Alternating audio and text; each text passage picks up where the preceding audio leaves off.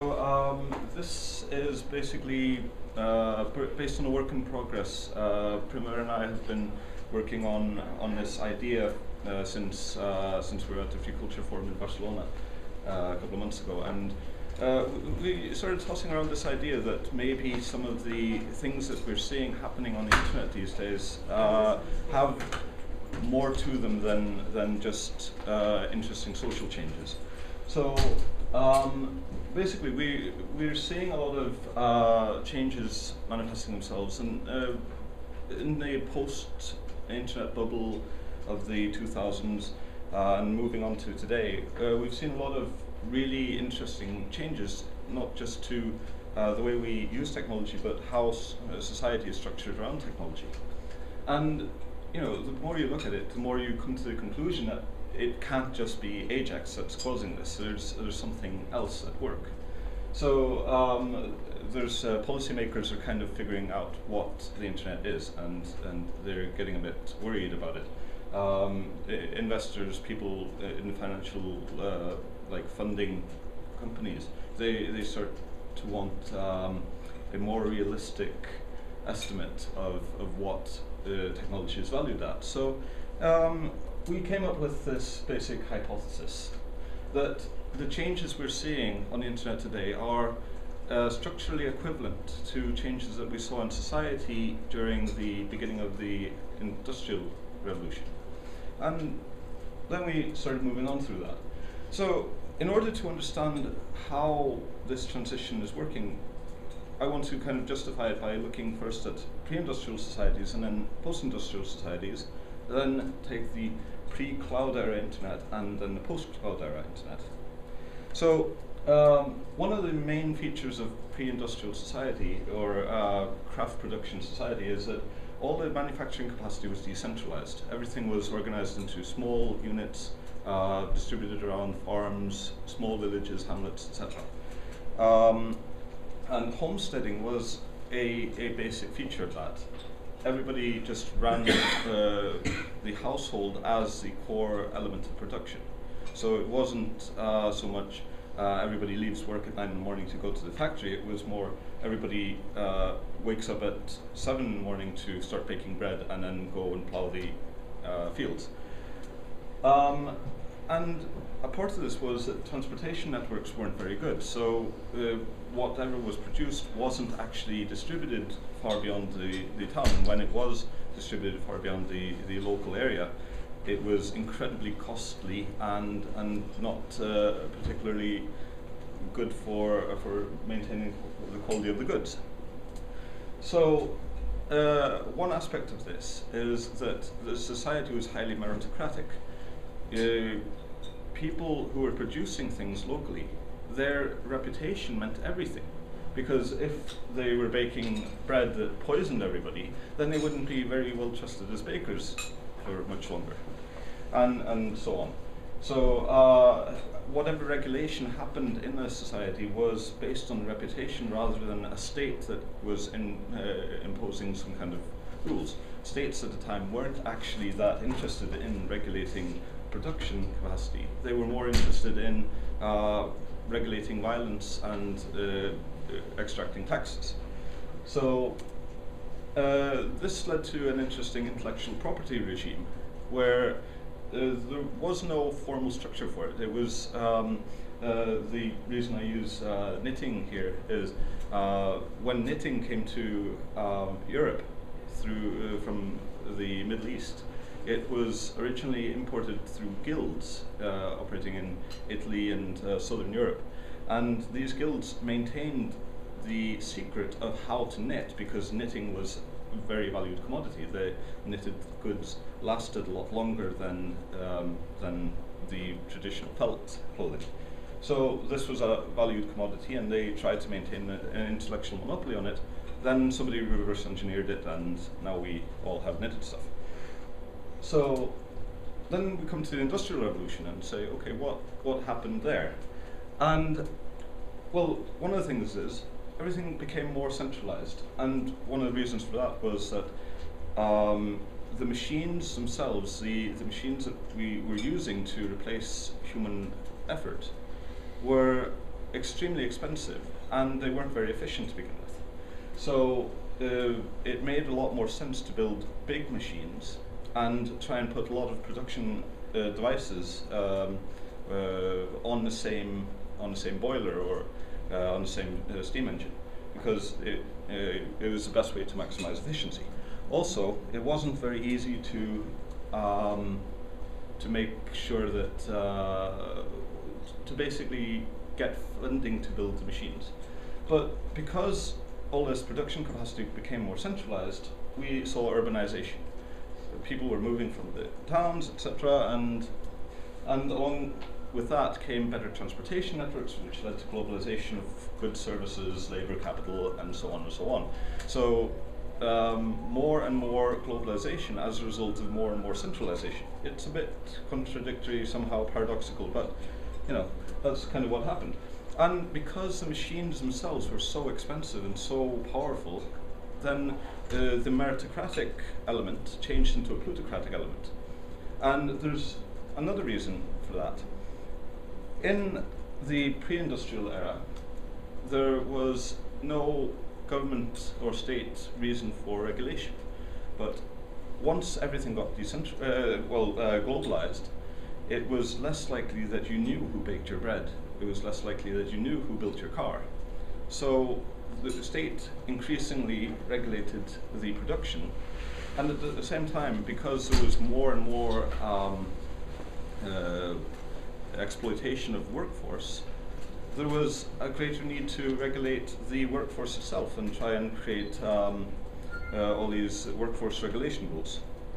So the third kind of main, uh, main thing that happened with regard to regulation was that uh, the state started to enforce intellectual monopolies.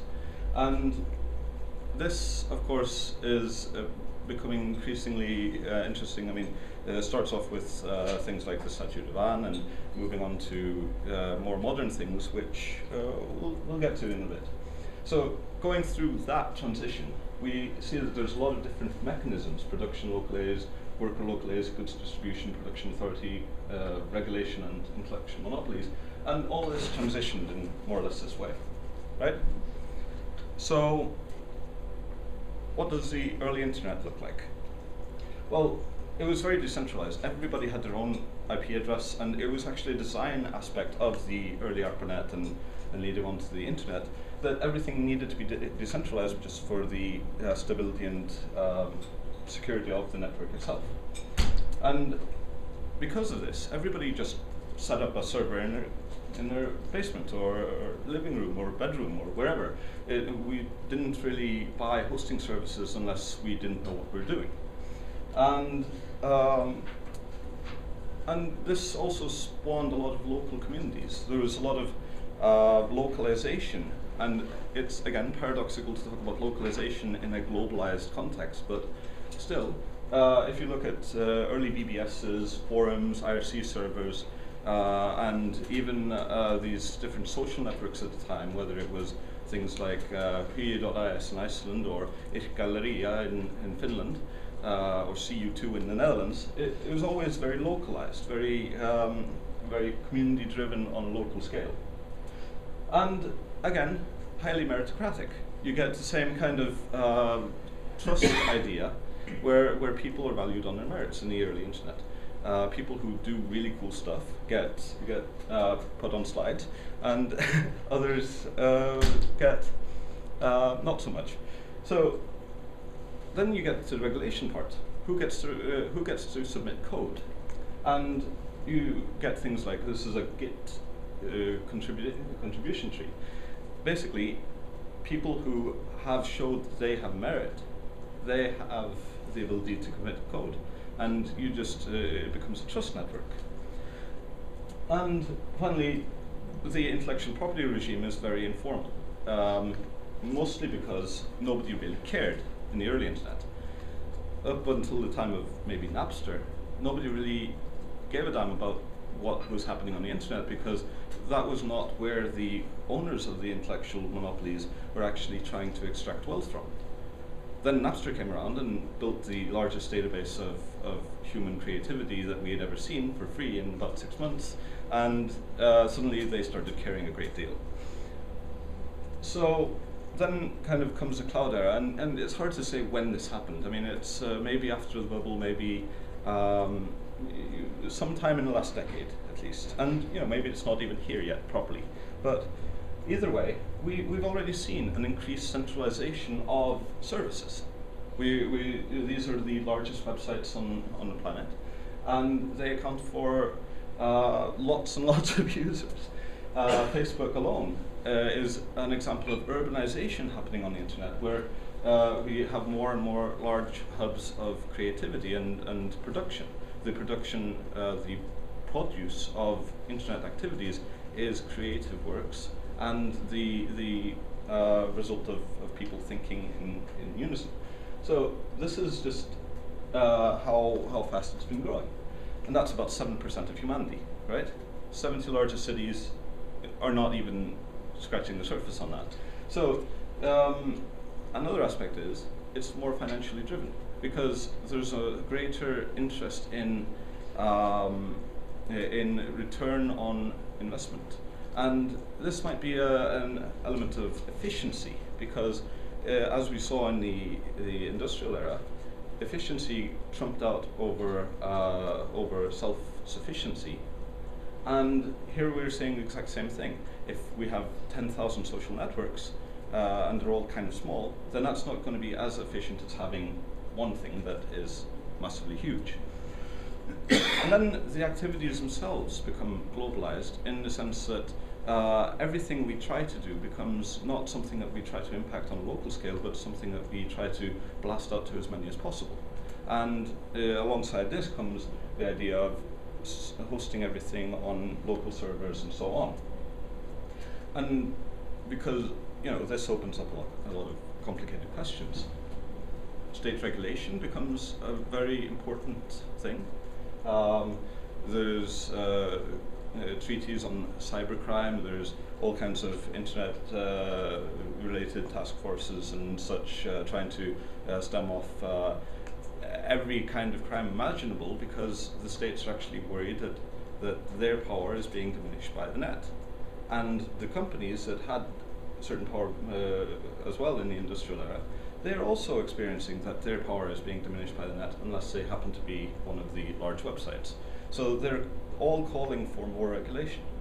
And again, some the general public is also calling for more, more regulation. They want to be safe from uh, from internet stalkers or credit card fraud or or that kind of thing. So uh, throughout the entire thing, uh, we're we're seeing more regulation, more movement towards this this kind of globalized political system. Okay, and then we get pervasive state enforcement of of intellectual property regimes that are just pulled over from the, the old system. This is uh, the, a screenshot from ACTA. Um, yeah, that, ACTA is kind of the, uh, the epitome. It's not a particularly important document, except in the sense of how it was produced and what for. Uh, what it actually says isn't all that crazy. I mean, we've already seen a lot of other uh, very bad laws come around uh, IPRED, for example, and uh, so on. So we're seeing that there's more and more corporate lobbying for more and more intellectual property management, and this is uh, this is just to serve goals which made sense a couple of uh, decades ago, but don't really make sense today. Is is just losing power. So again, we see that all these different mechanisms are transitioning in more or less the same way. Okay, it's um, so that's kind of an attempt to justify the idea that the internet is becoming industrialized. But this is kind of what it comes down to for me. Uh, I've come to the paradoxical conclusion that technology must be protected from man. Uh, Valery Legasov said this about two or three months after uh, the investigation of the Chernobyl uh, disaster, which he was the uh, chief of, um, had finished. And he, he came to this weird conclusion that, you know, that disaster wasn't actually uh, something that the technology had caused, but rather how humans interfaced with the technology caused it. And that's, that's an important distinction because there's no new technology on the internet today compared with you know, a decade ago, except maybe Ajax, right? Uh, HTML5, sure, and you know, that kind of thing, but really it doesn't fundamentally change what the internet is. It's just a minor change in the way we think about the internet. And our interactions are actually changing the social structures of the net. So you can come up with whatever value judgments you want about the meaning of industrialization of the net, whether it's good, whether it's bad. But the fact is that it's happening. Okay? So then we come to the questions. Like, what are the implications of this? What, what can we foresee in the future? There's going to be more centralization, maybe? Mm, Does this change the way democracy works? Does this change the way we create new things, new ideas, how we share new ideas? Uh, will there be uh, security risks for us? That kind of thing? Um, are there any alternatives? Could we do things differently? I'm a big fan of peer-to-peer ideologies where decentralization is good, but you know maybe that's not um, not necessarily the right way to go. Direct democracy might be something to look into. Maybe we just need to change our business models or our expectations of corporate uh, organization. Maybe we need to take up anarcho something, or, or maybe we just need to throw computers out the window. You know, the question is what do we do if we don't like this idea of industrialization? And then I think this is the most important question. How does this translate back into civil society? What does the industrialization of the internet mean to us as a culture, as human beings? And you know, uh, because information is playing a more and more important role in our daily lives, and the internet is the manifestation of all the information capacity that we have right?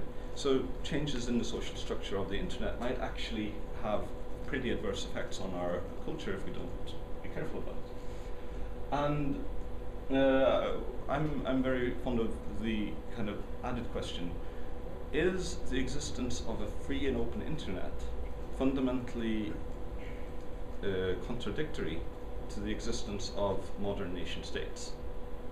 This is something that I haven't found the answer to yet we, we, we've just started to explore this, but it's kind of uh, the core of, of what we're all doing.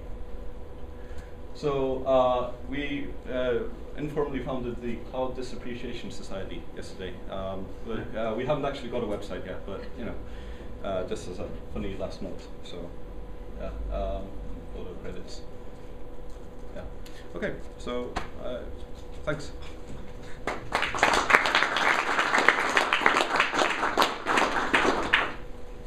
Any questions from Smári?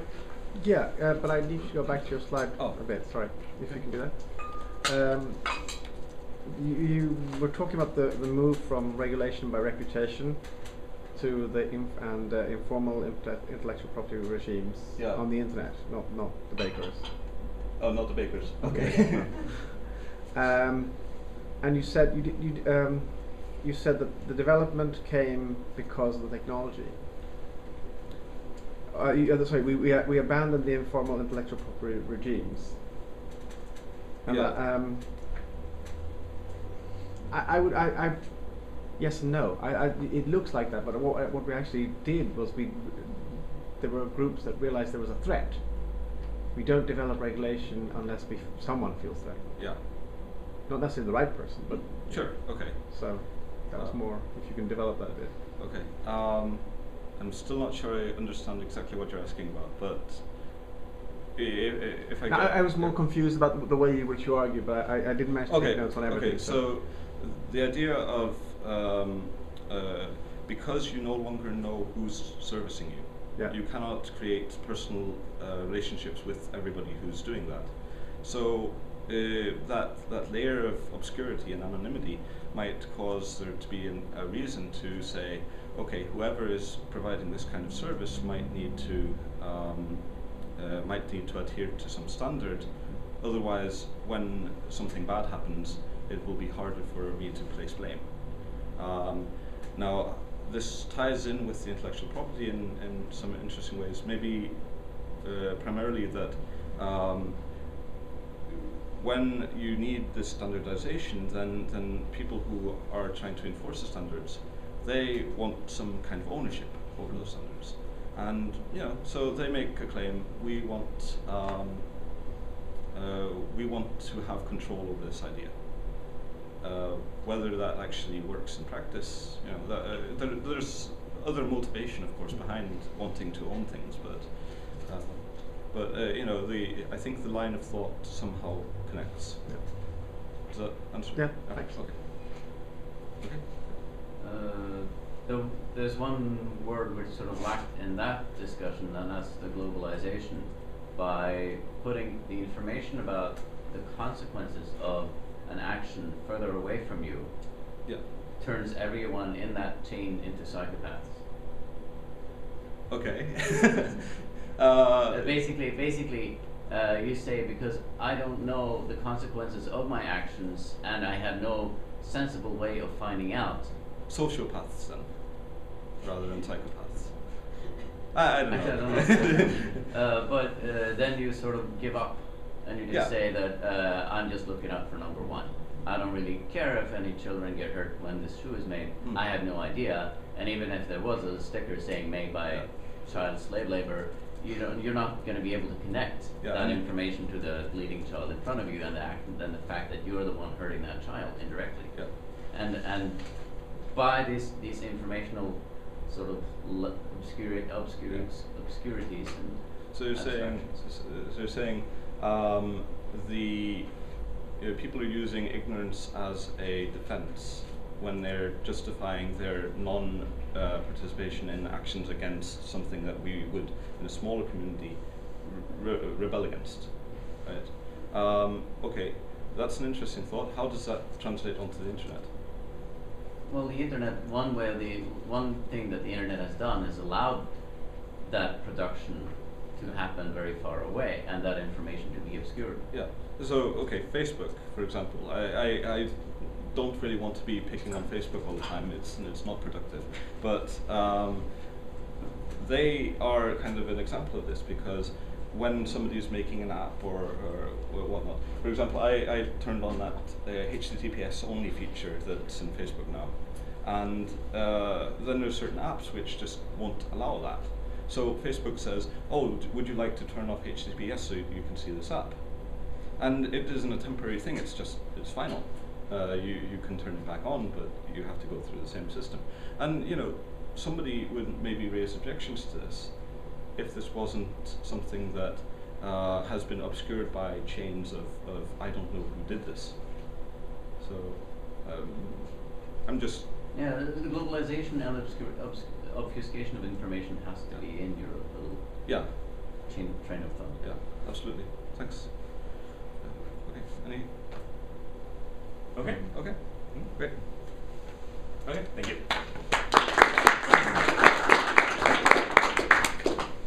Primavera. Oh yeah sure we got.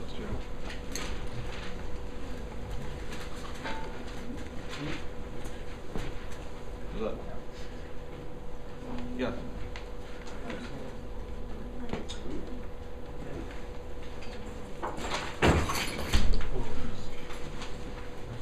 Did they go over time? No. Oh, yeah, it's okay. The official's talking from Primavera in a few minutes, so it's not perfect. As far as I remember.